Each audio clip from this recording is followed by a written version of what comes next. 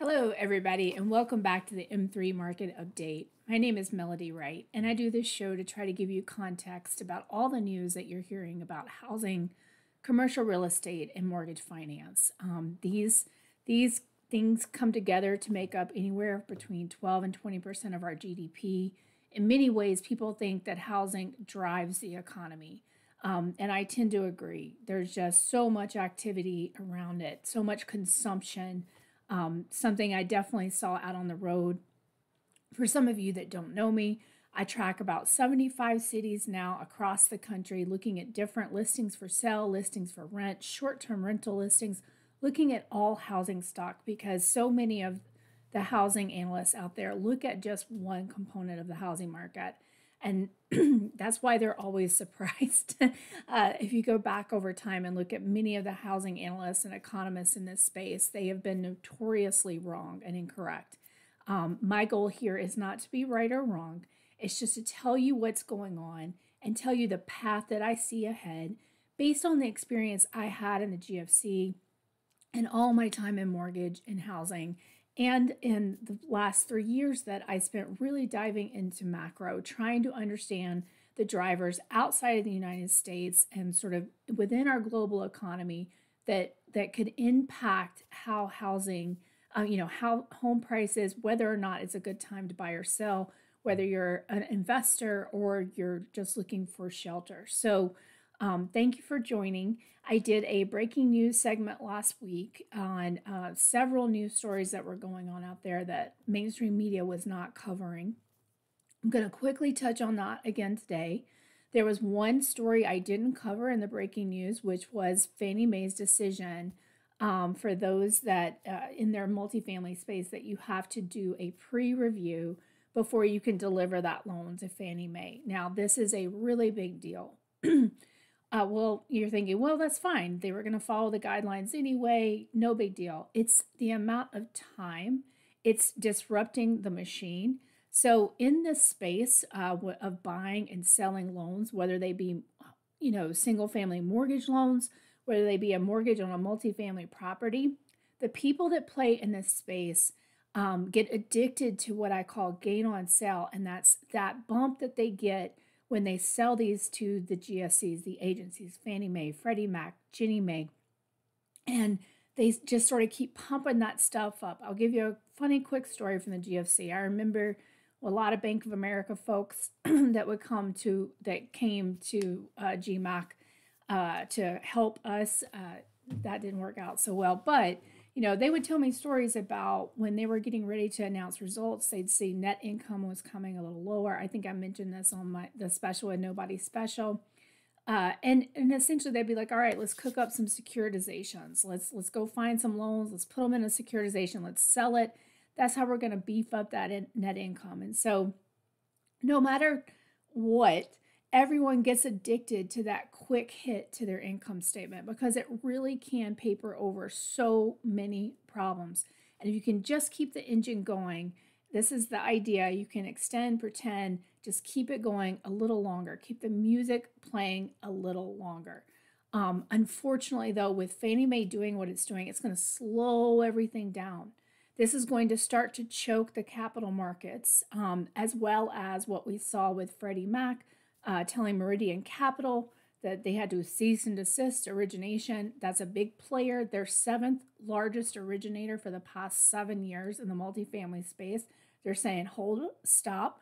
and so it's not just that company. I think that's what so many people fail to realize is that that company is going to turn around and they're going to have counterparties that are going to be impacted. And so everything that happened last week sort of sets the stage for um, distress in the capital markets.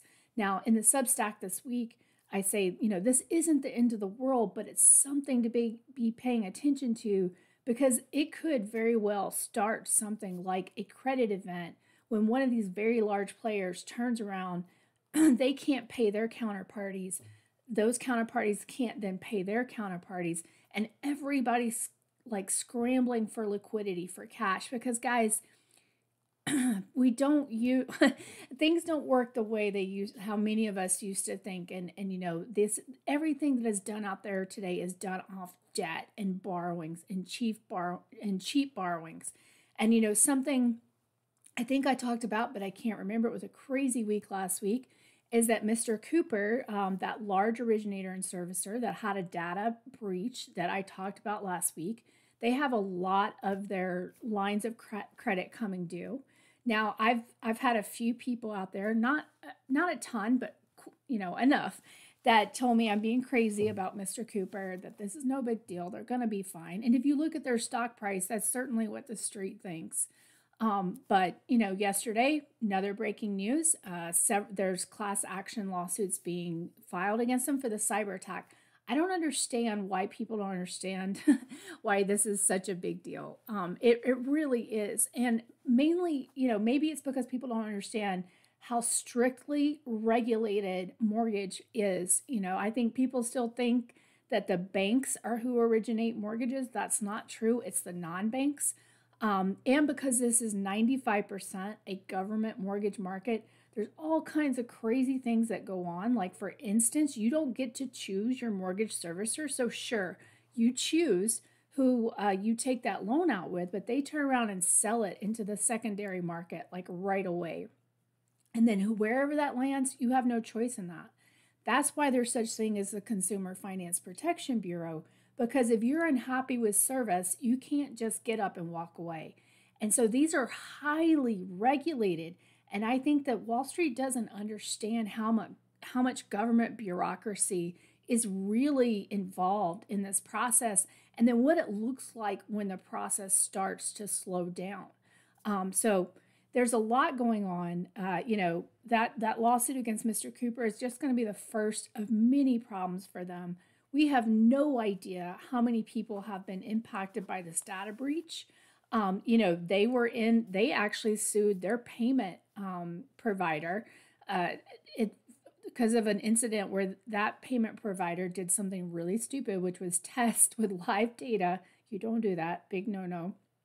And it, it and, and basically what ended up is uh, they were taking payments out of people's accounts that were not authorized. So, so think you paid your mortgage payment through this um, payment vendor uh, they accidentally the next night decided to draw it again. Now that that's a huge. Most people's largest bill is their mortgage payment, so you can imagine how impactful that was. And so, you know, Mr. Cooper sued them. Uh, the CFPB gave them a fine of twenty five million dollars. I mean, you know, and and then also there's there's borrower um, reparations that have to be done. So this is this is just the beginning of trouble for Mr. Cooper and I guarantee you, you know, this breaches so many of the triggers and covenants in their contracts with their counterparties that they are they're going to be meeting with a regulator, a counterparty, an unhappy borrower, and attorneys, you know, nonstop for the foreseeable future. So for anybody out there that thinks this is a non-event, um, it's not. It may take some time to play out and for you guys to see the, the implications, but that Mr. Cooper is the their business depends on the government. I just want you guys to understand that. Okay, so think about when you go and you get a driver's license or anytime you interact with our government, you know, you think about so the idea that these guys are really private actors is kind of, you know, funny in and of itself. Okay, so I am headed out to Denver today. I actually have to get on a plane here very shortly, so this is going to be short and sweet today. I'll be doing a site visit out there. We heard from um, New Build Guru, who, which is a uh, Twitter account that I follow. He is in new home sales. He's always got great intelligence, and he's saying that you know th- they're having a really tough time, even with all these incentives out there uh, to get people to get traffic in uh, to these new build sites you know, they're even giving the realtors like increased fees. It's still not doing enough. So I'll be going out to Denver, doing some site visits of some new build sites out there, talking to some people just to see what I can see. But, you know, Denver has, in my opinion, kind of been in a bubble for a very long time. And it started with, you know, tech really growing out there and everybody just thinking everybody was coming to Denver. But the, the biggest problem is that, you know, wages just weren't keeping up. And although there's this great, you know, idea of a tech hub, there just wasn't enough of other industry around. Um, everyone I knew when I lived in Denver, I lived there four years, was working another job, two jobs, because it was just so expensive to live there. I often joke that I spent more time doing fun things in Denver when I didn't live there uh, because it was more inexpensive than when you did live there, just because the cost of living was so high. So I'm going to go out there and see what I see. Um, while I'm out there, I'll be paying attention, trying to keep abreast of these news stories um, because, you know, this is how these times go. If you weren't around last time or for other cycles, is that you have a, a, a very crazy week last week where it seems like everything's breaking, everything's going wrong. The world's biggest bank is having to, you know, trade on a USB stick. um, and then you'll have a week of relative quiet and sometimes even months so, but it's important that we stay paying attention um, because these things can turn quickly. Uh, and if you're in the middle of making a decision, then you know it's important to really know what's actually going on. So, um, okay, I'm gonna just go through the listings today. Some interesting, actually, side notes. Um, but what I am seeing, you know, the Fed saw that inventory rose month over month by 5%. You know, that's a pretty good pace and a pretty good chunk. It was still down a little bit year over year, but inventory is definitely increasing. You know, in the cities I track, it was up almost 1% week over week. Again, week over week mo- movements. Uh, the reason I track those is I really just want to know immediately when you start to sense a shift. Um, but to the average, they're actually up 4% to the 18 week average for inventory listings for sale. So I believe, you know, there's certain areas that aren't behaving the same, but then some are really starting to get cooking in terms of those increases of uh, inventory. Where is that? Florida. As we've talked about on this show, uh, Florida is going to be the epicenter again. Uh, you know, I thought it might be Texas. I was wrong. I should have known better after, you know, reading Swamp Peddlers and Bubble in the Sun. But, you know, people in Florida woke up last weekend to escrow notices that said that their mortgage payment was increasing, um, sometimes double, and you know because their taxes and insurance, uh, those things are increasing exponentially. Uh, I tweeted out last week, you know, a local news story about um, a, a place I visited, Pembroke Pines Century Village, you know, where they're talking about they're on a fixed income. They got a notice, you know, that they've got an increase of $200 a month. And, you know, it, even if maybe they can stomach that $200, what they can't stomach is that that could happen in another six months. And so they really don't know what the end is as these insurance companies are leaving Florida. And as you know, the values are so high, they're getting taxed at that assessed value. And so these are sticker shock coming all across Florida, you know, where all these retirees move down there on a promise of more affordable living and what they're waking up to is you know that's not so. And so we're definitely seeing in florida florida a lot of uh, increases in listings and i honestly think that probably in the next six weeks the, the strike will start to thaw. Uh, people are getting desperate enough that you know they're going to have to start making those price reductions and then you're going to see movement in this market and you're going to see prices start to come down you know, because this is the holiday season, uh, people may do their best to wait till after the holidays to really, you know, address this problem. However, what I'm seeing is they're not in many cities. Um, so, you know, stay tuned. Uh, I think that the market is turning. We've had a lot of stops and starts this year, but I, I kind of feel like this is it. Um, you know, again, things could sl- slow down, speed up. Um, you know, one thing I'm very curious about is this like minor drop in rates. What impact does that have on on demand? And will it be enough? What we've seen so far is that actually refi- refinance is up, meaning that people are looking at that outstanding credit card debt and you know they're being kind of coaxed into okay, if I, you know, take, I consolidate uh, and I do a refi, that interest rate is lower. And the problem is what happens, a lot of people do that. They pay off their credit cards and then they just go back to spending. So, but anyway, even in this high rate environment, we're seeing refinances uh, tick up. So, Okay, let's just get started with uh, the top cities with largest percent increase in inventory week over week, and this is for November 5th through the 12th. Uh, Cape May was number one. You know, the, okay, so fine, small numbers, but guys, the, the uh, this is their. sorry, I'm kind of speechless because the way that listings for sale are increasing there is a little startling for such a small community and they also um, have increases in the listing for rent. So I think there is, we are starting to see distress. Uh, Rochester, number two at 5.92%. Number three, Johnson City. Very interesting. Again, seeing a lot of new uh, construction come online. They're up 5.45% week over week.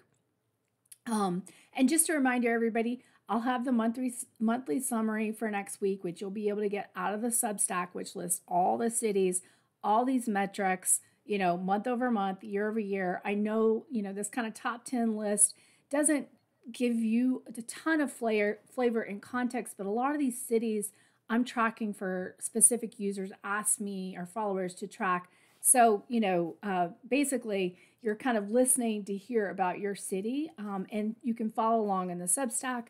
And you know, when uh, when I have more time, there'll be nice charts and graphs. But anyway, okay, so Westchester County up at 4%. Uh, so again, this belies the idea that uh, the Northeast is going to be immune. I, I hear that all the time. I, that's simply not accurate.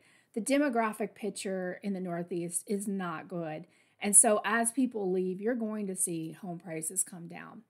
Um, okay, Rosemary Beach up at 3.45%. You know, they, they keep staying up here. I, I think that Rosemary Beach is going to have some trouble. Uh, you know, but when the right price, when it gets to the right price, I think people will absolutely be interested. Uh, and there is still enough uh, capital out there, enough liquidity of the top 20% that I do think, you know, we'll get purchases in some of these more, these, air, these uh, kind of leisure and hospitality areas um, because – you know, even in downtimes, people do go on vacation. You know, everything's not going to stop. It's just going to be a lot less people. And, uh, you know, I think really what's probably going to suffer the most is luxury, uh, believe it or not. Okay, top cities large percent increase in inventory compared to the 18 week average. Okay, so instead of a week over week, this is the 18 week average. So number one is Bakersfield, and this been this one's been weird. It could just be some sort of data issue with a listing site. I use Realtor.com, uh, but something definitely up there. Thirty-five point five four percent. Uh, number two Palm Springs up at twenty point one two percent. Uh, number three, Cape May up at 18.78% to their average. Again, this is you know that's what we're seeing. Fort Lauderdale, this is a big one, 13.43% to their average. 13.43% to their average. You know, we've only seen those kind of numbers in these tiny little beach towns. Um, th- th- and in California and Austin, don't get me wrong. But you know, for Fort Lauderdale, this is a big deal, and this is this is bearing out in what I'm seeing everywhere. Sedona at 11.69 um, percent in you know increase compared to their average. Okay, so top cities' largest um, percent increase in inventory uh, from the start. So I started tracking this in January. So guess what? In a couple months, we're going to have a year for a lot of these cities. I'm very excited about that. Um, you know, it, I just could not rely on the existing data out there and wanted to get more real time, which meant that you know I didn't have historical time series for some of these um, cities that don't get tracked the same way. Okay, so number one, San Ramon, they're back up from number two at 108%. And this is increase in listings for sale since the start, and that was January of 23. Uh, number two, San Francisco at 91.43%. Uh, number three, Bakersfield at 83.33%. They've never been this high up on the list, and here they are. Number four, Denver, uh, 61.03%, and up from number five last week. And so this is exciting. I'm going to go out and see what's happening in real time. Number five, Coeur d'Alene, uh, they are at 60.88%, down from number four. Number six is uh, Seattle at 53.35%. Number seven is San Jose at 51.11%. Number eight uh, is back in the top 10 Uh, this is their first time, I actually believe, and they are at 46.94% um, increase in listings for sale since the start. Galveston at 45.83% and Austin at 44.02%. So Austin came back in and kicked Boston out of the top 10. Uh, so, okay, top cities with highest percent increase in single family listings week over week, November 5th through the 12th. Uh, San Francisco, this is interesting because uh, we saw this week in San Francisco listings for sale go down, uh, but this is a big jump in listings for rent, meaning maybe people don't want to, it's been sitting too long and they really are just going to do whatever they have to do to try to get some cash flow. Uh, Brattleboro up at 15.38%, Cape May up at 14.29%. So we've got both listings for rent and listings for sale going up in Cape May. Uh, Wexford County up at 12.5%, and Rosemary Beach up at 7.69%. Okay, and so top cities with highest percent decrease of, um, I'm sorry, increase of single family rental listings to 18 week average. Uh, okay, so number one, Cape May at 90.48% of, so that's huge. Again, small numbers, but huge. Rosemary Beach at 67%, Sevierville at 46.63%, Dallas at 38%. Um, so, and listings for sale and rent both went up, and San Francisco at 31.93%. Again, this is single family re- rental listings to the 18 week average. Okay, um, so now top cities with the highest percent decrease of single family um, rent- rental listings to average. So, this is the decrease. This is the cities that this week showed a decrease compared to their average. So, number one is Tampa, 27.4%. Uh, number two is Orlando at down 22.66%. I have a hunch uh, that in Tampa and Orlando, things are actually moving to list for sale, but we'll see. Bozeman down at 13.65%, Boston down 11.83%, and Wexford County down 11% to their average. They were actually up week over week, but to their average, they were down. This is, you know, an 18 week average. Again, that's kind of a smaller community. Uh, so, you know, small moves can make a difference. Okay, so this is very interesting. So, uh, short term rental. You know, I have a, I, I combine different data sources. And one thing that I do is I look at these cities every week at short term rental average daily rates. Um, I pick a weekend two weeks in the future and I look at that and look at the average daily rate. Well, guess what happened this week? Airbnb took off uh, that filter, that ability to see what an average rate was for all the properties listed in that area. You know, this site you would think they would start to try and increase functionality, and, but no, they're they're taking away um, the ability for people to really understand what true pricing might be in these areas. Instead, you have to go look at all these listens listings, whereas before they would give you that average daily rate. So we're gonna lose out on our week over week until I get daily scra- scraping done, uh, which you know that's in the works right now. Uh, big project though to scrape all these sites every single day. So you know, not exactly sure when I'm gonna have it, but probably in the next 60 days. So stay tuned for that. But we will have month over month and year over year. Um, I'll just quickly, you know, the go over the listings from last week. Uh, you know, average daily rates were down on average last week about four percent. Um, and so these are all compared to the 16 week average uh, for week over week. But Rosemary Beach down 55.65%, Destin down 45.37%, Chicago down 39.16%, San Francisco down 32.89%, and Portsmouth down 31.94%. And I should have all of the updated short term rental listing for October. Um, and I think finally we'll have the occupancy as well. So, to really give a good analysis next week in the monthly summary. Um, for commercial real estate, you know, the biggest thing, there was an auction, well, there was um, a fire sale kind of last week on the Signature Bank assets. Uh, everyone is kind of looking toward this, trying to see if we're going to get true discovery uh, price discovery on a lot of these properties. What does price discovery mean? That means that um, essentially you have a comparable. Okay, so let's say you know i'm in new york city and uh, you know the last building of my size kind of you know sold for this crazy amount of 20 million. So everyone around that has a building just like mine thinks they're going to get 20 million.